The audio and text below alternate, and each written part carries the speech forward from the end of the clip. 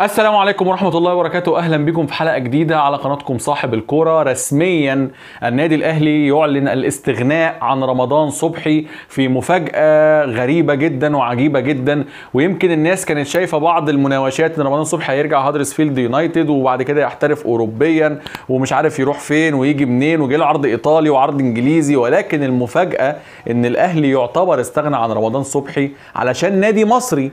فتعالى نعرف التفاصيل كلها ونعرف قيمة الصفقة ونعرف الدنيا فيها إيه ونعرف رمضان صبحي هيمضي النادي المصري ده إيه في الفيديو ده. بس استاذنك في بداية الحلقة ما تنساش لو انت اول مرة تشوفني في تحت زرار احمر مكتوب عليه اشتراك أو subscribe. دوس عليه عشان دايما تتابع كل الأخبار الجديدة أول بأول وجنبه جرس دوس على الجرس واختار. أول اختيار ولو انت جديد أو قديم معانا في القناة ما تنساش تعمل like لأن ال like مهم جدا عشان الفيديو يوصل على أوسع نطاق ما تنساش تعمل share وما تنساش تعمل comment.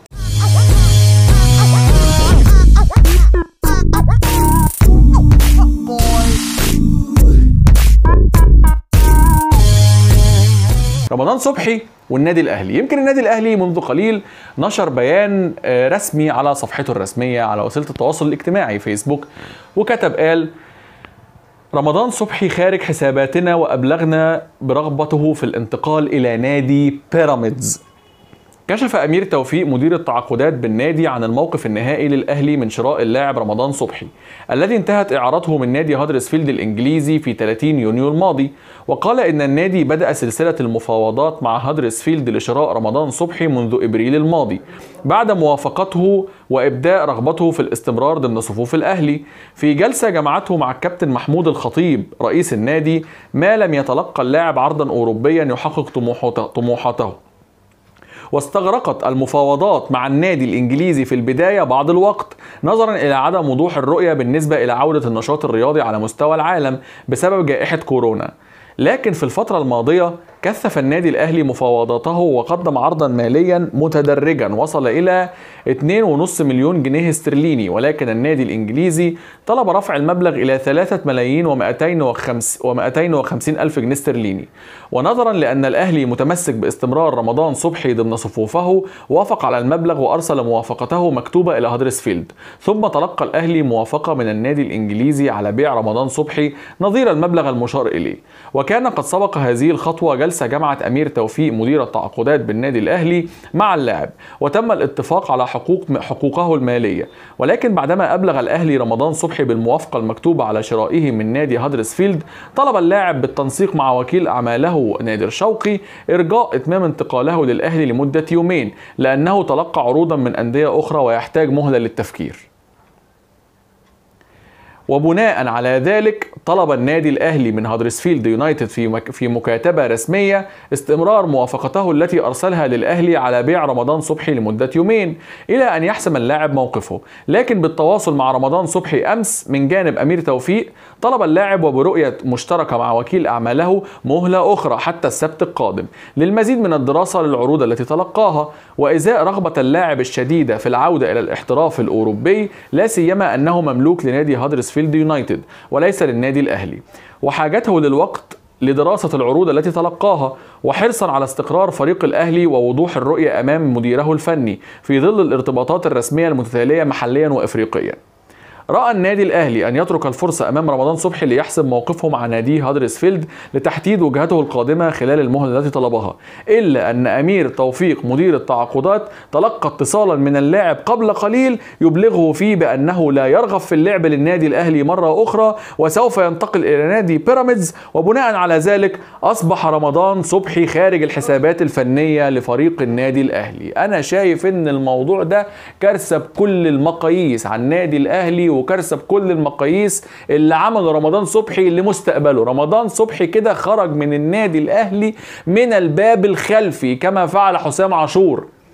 تاني رمضان صبحي خرج من النادي الأهلي من الباب الخلفي كما فعل حسام عاشور. إيه اللي بيحصل في إدارة النادي الأهلي وإيه اللي بيحصل في النادي الأهلي محدش عارف. شريف إكرامي يعتبر خلاص خلص ورقه لبيراميدز. أحمد فتحي مضى لبيراميدز. رمضان صبحي رايح بيراميدز. من قبلها عبد الله السعيد ساب الأهلي وراح الزمالك ومن الزمالك راح بيراميدز. وبعدين حسام عاشور حصل خناقة ومش عارف إيه ومشي. في خلال موسمين ولا حاجة حصل كذا خناقة حصل كذا مشكلة. يمكن الموسم ده اللي كان موسم كارثي للنادي الأهلي. لأول مرة منذ يعني فترات كبيرة جدا نشوف حد من لعيبه النادي الأهلي بيطلع وبيتكلم على النادي الأهلي في ال social media زي حسام عاشور وبيهاجم النادي الأهلي. لأول مرة منذ يعني سنوات عديدة يمكن من آخر حادثة أو آخر موضوع يمكن عصام الحضري شفنا آه، آه، واحد زي أحمد فتحي أو لاعب زي أحمد فتحي قفل تليفوناته في وش إدارة النادي الأهلي وراح مضى لبيراميدز.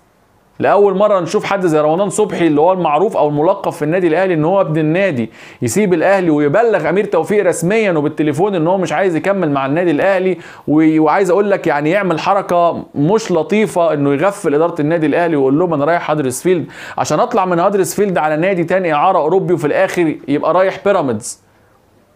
بيراميدز عرض عرض على رمضان صبحي مغري جدا بالاتفاق مع شريف إكرامي اللي هو يعتبر أخو مرات آه، رمضان صبحي قريبه. هو راح خلاص يعتبر مضى بيراميدز ومعاهم أحمد فتحي. اتفقوا مع رمضان صبحي وميلوا دماغه راح معاهم يعتبر رايح بيراميدز رمضان صبحي هيمضي البيراميدز ثلاث مواسم ب 80 مليون جنيه غير المتغيرات. رقم ضخم جدا في سوق الانتقالات المصرية. رقم تقيل. بيراميدز بيخش بيفتت في في في النادي الأهلي. بيراميدز واخد كام لاعب من النادي الأهلي؟ واخد عتاولة عبد الله السعيد أحمد فتحي شريف إكرامي رمضان صبحي وغيرهم هيجي بعد كده. في مشكلة في إدارة النادي الأهلي خلينا نكون متفقين. القصة بقى مش أنا زملكاوي ولا أنا أهلاوي أنا بكلمك بمنتهى البساطة. أصل أنا بكلمك ليه دلوقتي كده؟ لأن بكرة هلاقي ده حصل في الزمالك مع إنه حصل قبل الأهلي. ما إحنا برضو حصل فينا كده. من يوم وليلة علي جابر لقيناه هناك يوم وليلة أحمد الشناوي يوم وليلة عمر جابر. ما كنتش ناسي أحمد توفيق. يجي أربع لعيبة ولا خمسة من الزمالك راحوا هناك والأهلي نفس الكلام أربعة دلوقتي ولا حاجة راحوا هناك. لازم إدارة الزمالك وإدارة الأهلي ياخدوا موقف يقفوا وقفة لأن بعد ما اللعيبة دي بتروح هناك بنيجي بعد كده نعوز نشتريهم. يعني الزمالك لما مشى عمر جابر وداه بيراميدز جينا بعد كده فين عمر جابر؟ عايزين عمر جابر يلعب back يمين ما عندناش back يمين. مشى أحمد الشناوي رحنا جبنا عواد وأبو جبل في صفقة تتعدى قيمتها ال 100 مليون جنيه بالمتغيرات. وكان في إيدك احمد الشناوي. انت متخيل؟ إيه ده؟ في حاجة غريبة. رحت مشيت علي جبر وجبت آه، آه، الونش وجبت محمود علاء وجبت وجبت وجبت وجبت. مفيش مشكلة بس انت عندك لعيب سوبر بتمشيه ليه وتجيب سوبر؟ طب ما السوبر خليه زي ما هو حافظ عليه. في مشكلة في تعاقدات إدارة تعاقدات النادي الأهلي وإدارة تعاقدات النادي الزمالك. في مشكلة وفي كارثة. ولو ما اتلمتش ولحقوا يلموها لا. في مشكلة. وامير توفيق عنده مشكله ومدير التعاقدات في نادي الزمالك عنده مشكله اعتقد هو امير مرتضى منصور هو المشرف على موضوع التعاقدات في مشكله اللعيبه اللي بتهرب حمدي النجاز اللي هرب من الزمالك وكهربا اللي هرب من الزمالك في حاجة غلط النادي الاهلي عنده مشكله اللعيبه اللي بتمشي إزاي ولعيبه سوبر لعيبه كبيره وكلهم من الآخر يعني يعني في, في في نفس نفس القصة بيراميدز حاليا بيشفط الزمالك والأهلي.